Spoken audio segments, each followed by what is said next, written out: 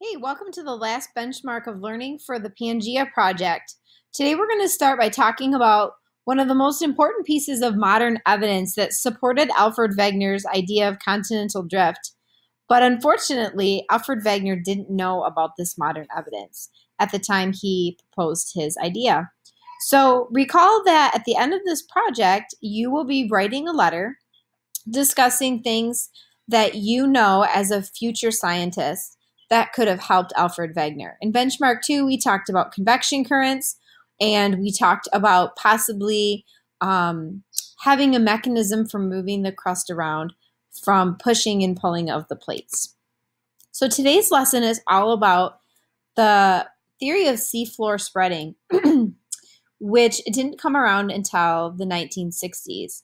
It too had some evidence that was widely accepted. We're going to talk a little bit about those pieces of evidence that supported the idea that the sea floors were actually spreading apart and getting wider. So remember Alfred Wegener, poor Alfred Wegener. Um, no one believed his theory. He had great evidence. He had fossils, climate, and landform, but he wasn't able to give evidence for why the continents moved apart. And one of the big pieces of his theory was that Africa and South America had once been together. So in the 1960s, um, scientists invented sonar, which basically is just bouncing sound waves off of the surface. In this case, it was the bottom of the ocean. And they mapped the ocean floor. And a lot of this technology came about due to um, needs during the Great World War. And people really, up until then, thought that the bottom of the Atlantic Ocean and the Pacific Ocean were just vast wastelands of like nothingness, flat, um, almost like an underwater desert, just flat for miles and miles and miles. And what they found as they were mapping the ocean floor was that there was a huge mountain range right in the middle of the Atlantic. And they found this first later in other oceans and no one expected to find a mountain range at the bottom of the Atlantic. In fact, this mountain range at the bottom of the Atlantic Ocean was bigger than some mountain ranges that occur on Earth.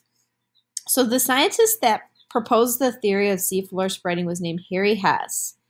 And he also had three pieces of evidence to support the theory that the seafloor was spreading. Now, you might be thinking, okay, wait a second.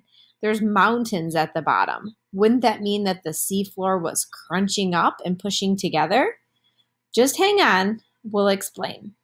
But if Alfred Wegener had known that the Atlantic Ocean had mountains down the middle and was in fact splitting apart, that would have been great evidence to add to his theory that South America and Africa had once been together. So I'll get back to this slide. I'm actually going to attach a PDF for you guys to see some of the pictures that are in your book. They're actually really good. Um, I'll go ahead and go through the evidence with you though in this video lesson.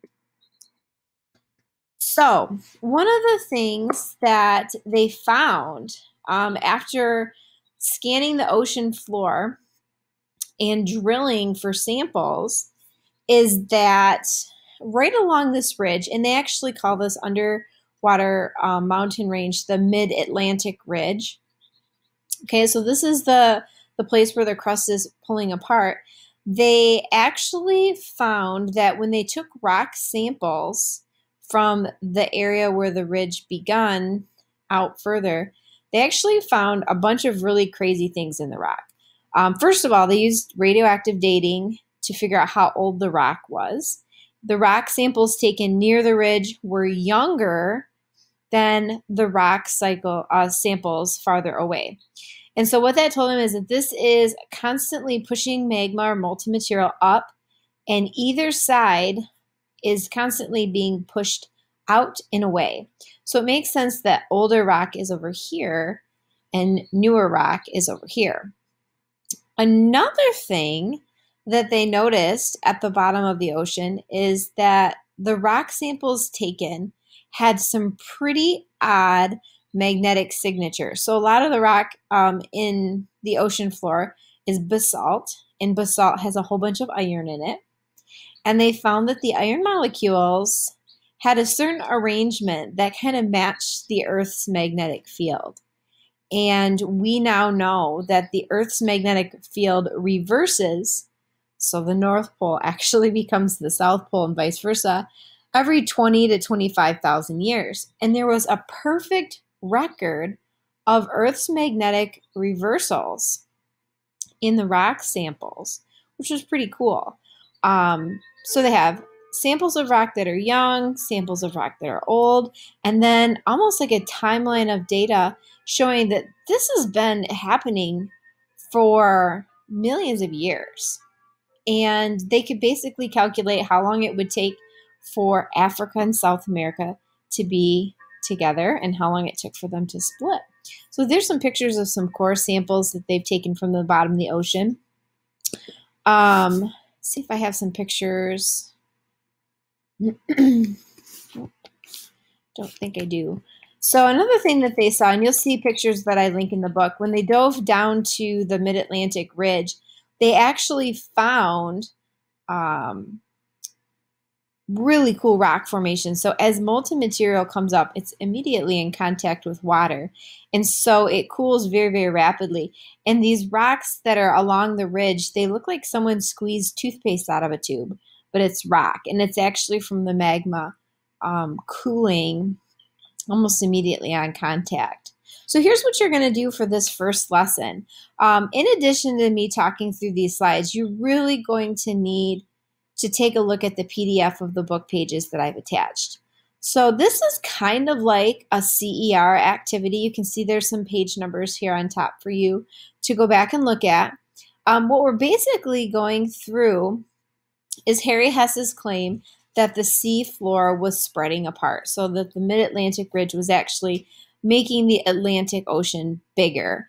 All right, so you're going to write that as the claim, and then you're going to use this video and um, the book pages to describe the evidence that Harry Hess had. So we talked about there being molten material at the bottom.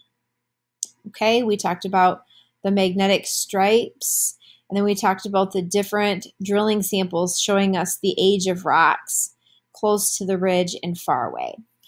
Okay, so you're going to just basically take detailed notes and write it as a claim and evidence and then in this gray box at the bottom, tell me how this information in your own words could help Alfred Wegener to prove his theory of continental drift.